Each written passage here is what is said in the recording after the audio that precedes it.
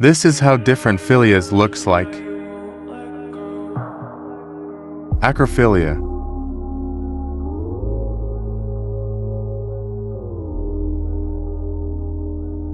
Igomatophilia.